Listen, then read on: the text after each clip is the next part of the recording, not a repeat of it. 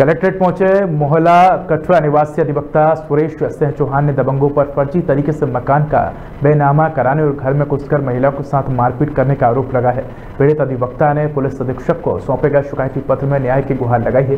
कोतवाली क्षेत्र के मोहला कटरा निवासी सुरेश सिंह चौहान, पुत्र स्वर्गीय राम भजन सिंह चौहान, पेशे से वकील है। अधिवक्ता सुरेश सिंह चौहान अपने अन्य समर्थकों के साथ कलेक्ट्रेट पहुँचे। अधिवक्ता ने बताया कि वे जिस मकान में पूरे परिवार सहित रहते हैं, उस मकान का बेनामा बरसों पूर्व मिथिलेश कुमारी से करवाया था और मकान के पूर्व मालकिन मिथिलेश कुमारी ने कई साल बाद इसी मकान का बेनामा उषा रानी पत्नी राजीव कुमार के नाम पर कर दिया था।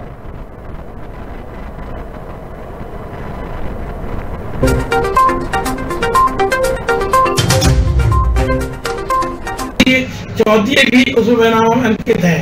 हर तरीके से इनका बैनामा फर्जी है और जिन व्यक्ति उषा रानी से कराया है वो उषा रानी मैनपुरी में नहीं रह रही है तो सन 2008 में। इसके अलावा जो गवाह है वो भी उसमें आशीष कुमार पुत्र राजीव कुमार मोहल्ला कटरा में नहीं रह रहा है।